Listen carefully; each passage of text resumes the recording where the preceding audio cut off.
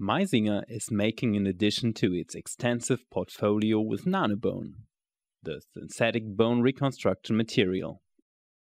Key features include a large inner surface area ranging up to 206 square meters, complete remodeling capabilities, controlled osteoinduction, as well as quick and easy handling.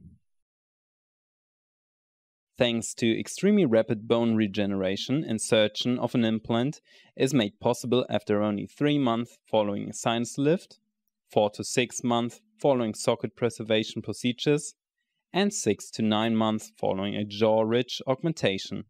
After approximately 12 months at the latest, nanobone completely biodegrades. Nanobone is available in the following forms granulate, block, and a ready to use putty for immediate application, the right material for every type of bone defect. Over 300,000 successful treatments speak for themselves.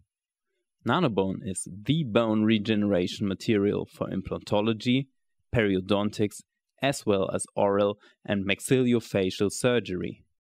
Nanobone, now exclusively at Meisinger.